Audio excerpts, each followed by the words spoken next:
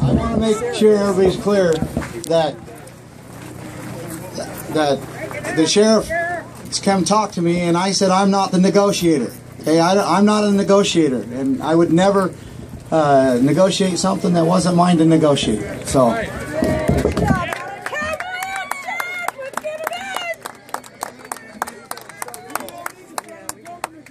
What happens if every single one of us march into their damn compound? Stay peaceful.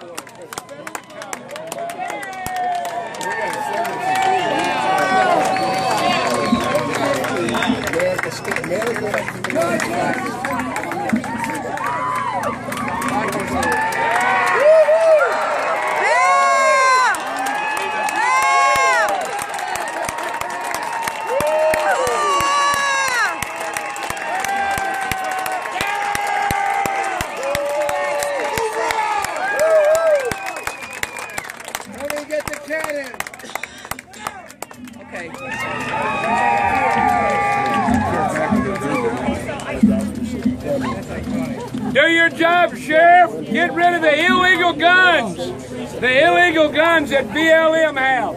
They have no permit. They have no right to carry a weapon. They have no right to wear a badge. Get them, Sheriff. Do your job or get the hell out of town.